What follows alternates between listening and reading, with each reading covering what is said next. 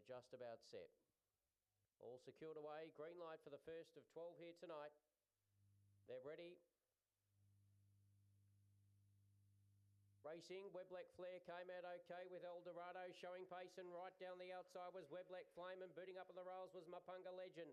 So round the first corner, Mapunga Legend got into trouble. There's been a mix-up and uh, Dale and Bale goes to the lead now by about two or three to Webleck Flame. Going up to third was Webleck Flare. Then for the back was Puzzle for Paddy. Well back there, Mapunga Legend coming off the back straight. And Dale and Bale doing it well, about three or four. Webleck Flame in second, then Webleck Flare. But it's Dale and Bale winning the final here for the maidens by three and a half Webleck Flare. Webleck Flame was next in third, then came Puzzle for Paddy. Well back Mapunga Legend checked severely the first corner, then McInerney, Webleck Gem and Eldorado. They were all in trouble the first corner. And the time in the maiden final is around 30.02. 30.02 here, number five, Dale and Bale, 5.19, 1933. 30.02 is the time recorded.